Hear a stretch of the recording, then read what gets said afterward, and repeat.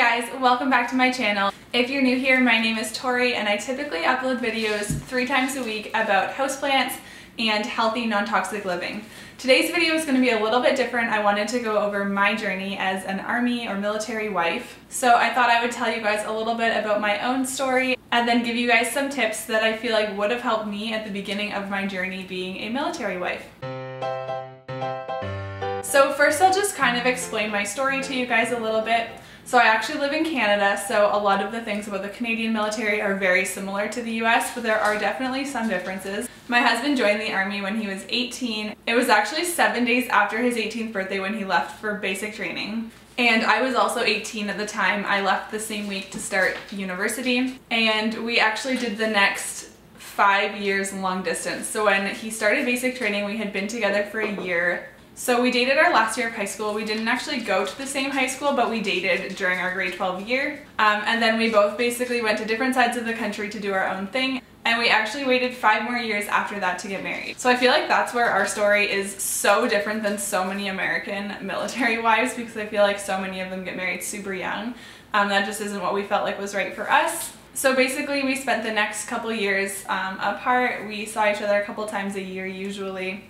And then we got married almost three years ago, June 2016. And he is still in the army. He's been in for about seven and a half years at this point, I think. We've lived in the same place since we got married, but he has been gone a lot during that time. He left for his first and only deployment about nine months after we got married. And then ever since then, he's been like home. He's actually gone right now for two months for training. So that's kind of been our story for the past like eight and a half years that we've been together. I would say the absolute hardest times for us in terms of military were the first six months were so brutal.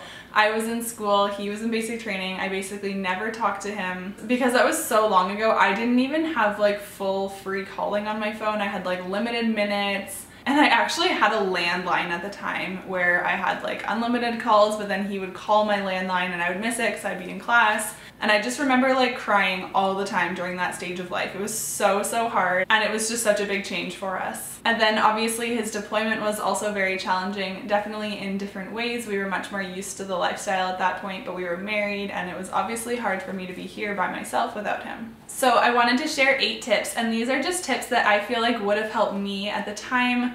I really had no idea what I was going into. I did not grow up in a military family. I didn't have any friends in the military. I just, I didn't know the lifestyle at all. So I really hope that these tips will help someone out there who's maybe a new military wife or a new army wife, or even if you are just dating someone in the military, I think that these could also be helpful. So the first tip is communication. And I know that you hear this from everyone. And I thought that this was so cliche before we got married. I really didn't understand it. I feel like our communication when we were dating was actually pretty good because we were long distance. We like talked to each other on the phone every day. And when you never see each other and you can only talk talk on the phone, I think you're forced to have really good communication. But I definitely believe that poor communication in marriages is why so, so many marriages are failing. Neither Quinton nor I love talking on the phone. Like we, neither of us are super chatty people, so we just don't have a lot to say on the phone, which I know sounds funny. I feel like people are always like, it's your husband, like you should want to talk to them all day long, but neither of us are chatties. So sometimes it's been a struggle for us to talk on the phone for 30 minutes because neither of us really felt like we had anything important to say. My life here isn't always that exciting. It's pretty much the same a lot of days and then same with him when he's gone. It's very, very repetitive. So sometimes we just kind of find that we're like, so like what else did you do today? And there's just not a lot. So, so personally, we've had to put a lot of effort into making the quality of our conversations good. We want them to be fun and meaningful and we want to finish off those conversations feeling almost feeling like we just went on a date instead of having this like forced conversation. And then as far as communication, you need to be super honest about just the struggles and the things that are going on. Military lifestyle just brings so many additional things onto the table and you need to be so open about talking about that. And this goes for when your husband or boyfriend or whatever is home also, even when they're not away, you need to be so clear with your communication. My second tip is community. And I think this is true whether you are a military spouse or not. You need a community of people around you who are like-minded and who can really support you in times of struggle or if anything comes up. Especially when you're living somewhere where your family isn't You honestly just need someone who, if your car was to break down on the side of the road, you could call and they would be there for you. Or if you're having a really bad night and you just really need to talk to someone, you need friends like that that are almost like family. So personally, my really close friends don't come from the military community. I know some people love like the military community. Like I said um, at the beginning, most people here don't get married super young.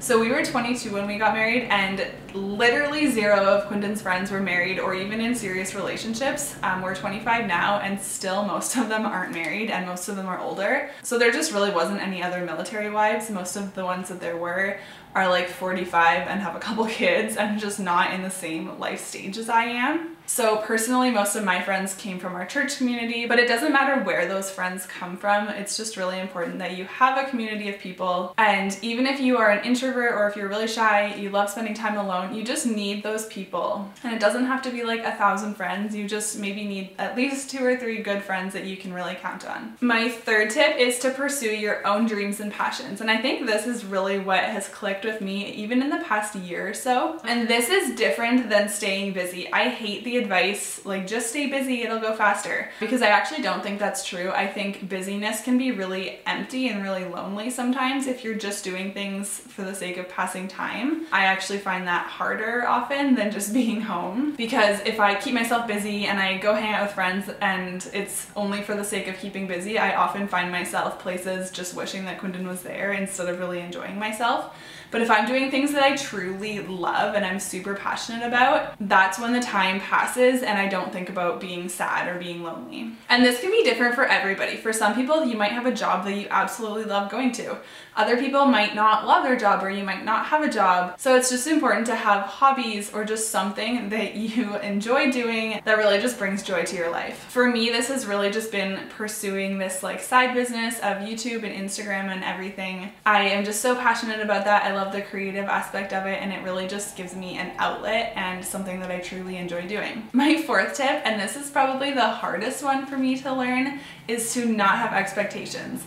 Honestly, expectations in the military almost always lead to disappointment. The military runs on their own schedule with their own rules. They just kind of do what they want and if you are always bogged down by like that's not fair or that's not how it should be or we had plans, you're just going to be disappointed over and over and over again. I remember the very beginning of Quinton's military career. We had been apart for four months. It was the first time we had ever been apart. He was at basic training and then at the rest of his like trade training. We didn't see each other in between those so we had been apart for four months. We basically hadn't talked that whole time and he had a flight to come visit me. And it was probably two or three days before the trip was supposed to happen. The military was like, nope, you don't have this time off, and he wasn't allowed to come.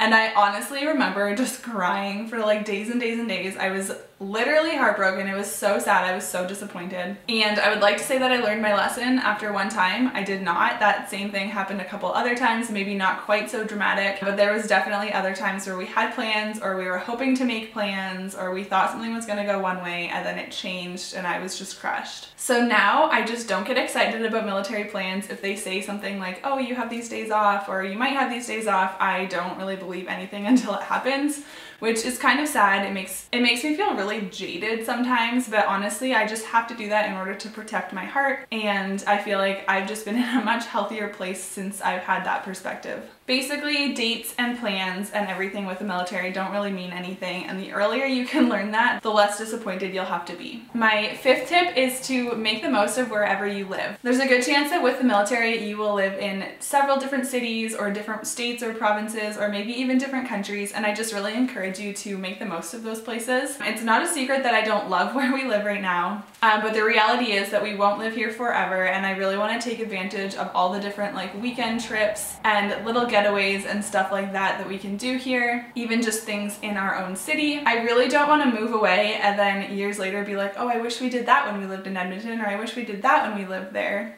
So I'm really trying to appreciate what this city does have to offer while we're here. And then also make the most of the time that you do have together. Obviously Quinton is gone a lot. I think this has kind of come naturally to me because he's been gone so much. When he's home, I appreciate it 100%. I really, really do not take those moments for granted.